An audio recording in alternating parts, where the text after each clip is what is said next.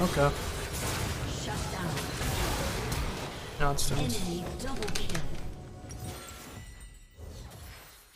I'm just getting solo killed by their 0 and 4 Rakan.